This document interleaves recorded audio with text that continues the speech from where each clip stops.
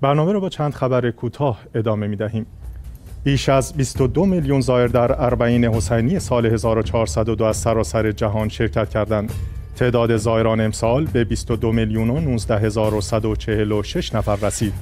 آستان مقدس حرم مطهر حضرت ابوالفضل عباس علیه السلام با اعلام این خبر افزود آمار یاد شده بر اساس تحلیل های آماری بخش ارتباطات این حرم متحر همچنین بهرهگیر از داده های مرکز اطلاعات و مطالعات آمار احسا شده است علاوه بر آن در این سرشماری از آمارهای زائران که از موادی اصلی ورودی به شهر مقدس کربلا آمدند شامل شهرهای بغداد، بابل، نجف و حسینیه نیز بهره گیری شده است.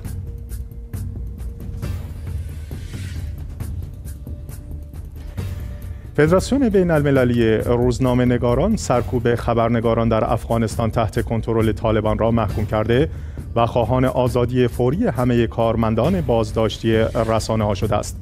این فدراسیون گفته که موارد بازداشت خبرنگاران در افغانستان افزایش یافته است. فدراسیون بین المللی روزنامه نگاران می‌گوید که در پی تسلط طالبان بر افغانستان فعالیت رسانه‌ای در این کشور به طور چشمگیری محدود شده است.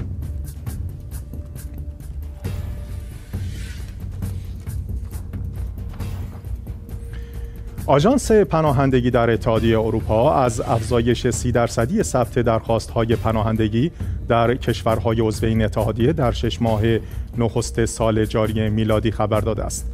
به گفته مسئولان آژانس پناهندگی اتحادیه اروپا، حدود 519 هزار درخواست پناهندگی بین ژانویه تا پایان ژوئن گذشته در 29 کشور عضو این اتحادیه ثبت شده است.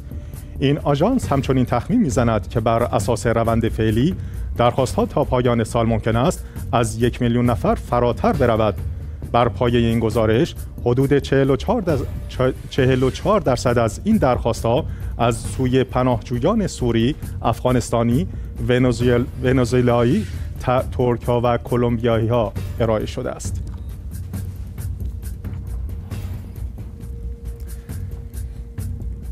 مقام های نظامی بورکینافاسو می‌گویند که در پی حمله افراد مسلح ناشناس به یک پایگاه ارتش واقع در شمال این کشور 53 نظامی کشته و سی تن دیگر زخمی شدند.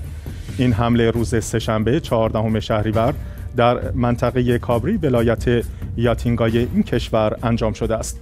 این پایگاه مأموریت کمک به باز به بازگشت کنندگان را بر عهده داشته است. ارتش بورکینافاسو گفته که در جریان این حمله 17 سرباز ارتش و 36 نیروی همکار آنان کشته شده است. تا کنون فردی یا گروهی مسئولیت این حمله را بر عهده نگرفته است.